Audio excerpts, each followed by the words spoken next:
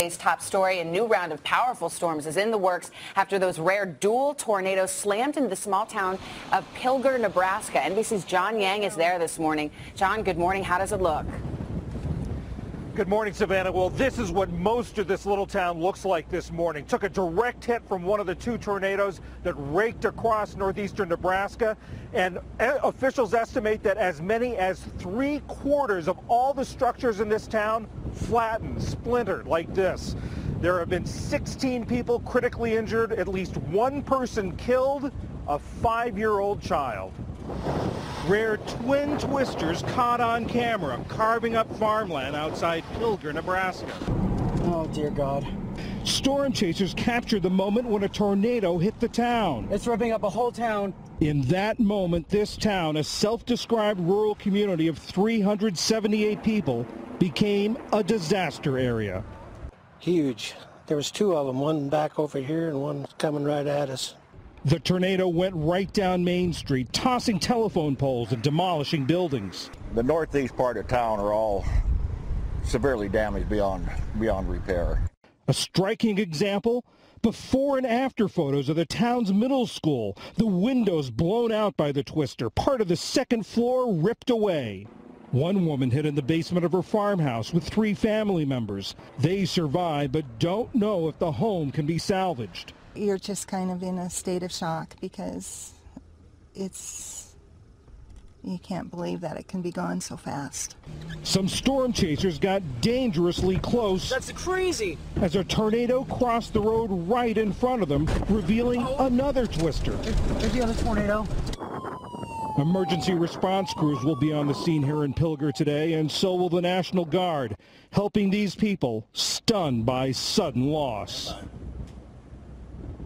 Residents will be coming back here. The town's been sealed off overnight. They'll be coming back to see what's left of their town and try to live up to their slogan, the little town too tough to die. Let's get to our top story on a Wednesday morning. Those dangerous tornadoes in Nebraska. Dozens reported overnight, but thankfully the damage was nothing like what we saw from those twin tornadoes on Monday. NBC's John Yang has the latest on all this. John, good morning to you.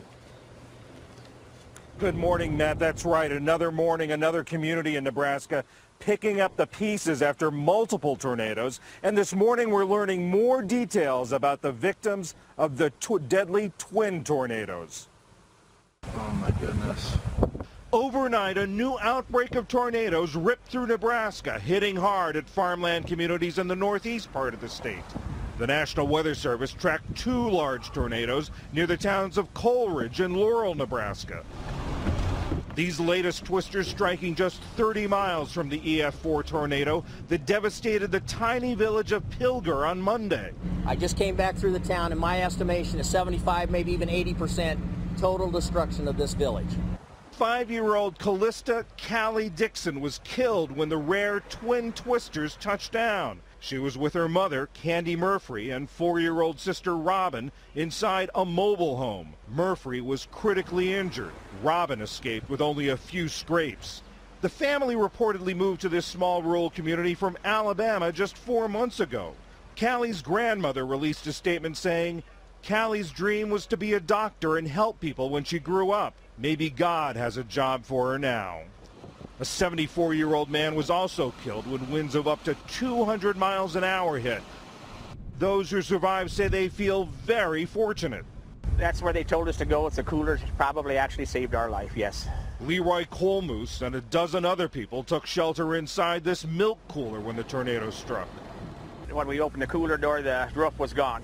Most of the town is now gone, but residents here say they're determined to begin the very long road to recovery.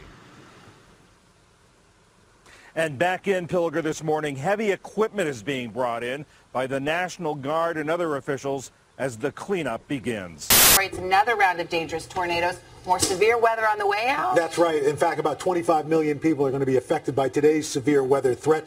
But last night, uh, the town of South Wessington in, oh in South Dakota, Wessington Springs, was affected. Massive damage. You look at all of this, it's a miracle that nobody was injured and there were no deaths. But they were really hit very hard. Town of Alpena not too far from there hit as well.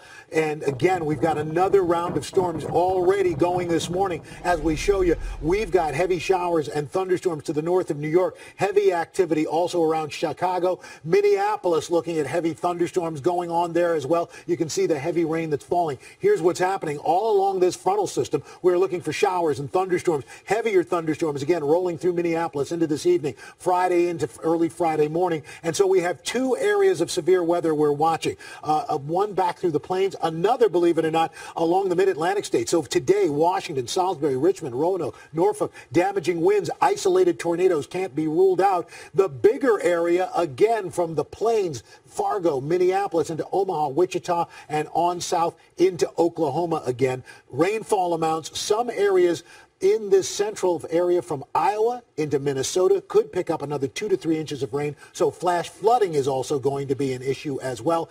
But after today, things calm down. The atmosphere actually starts to get a little calmer.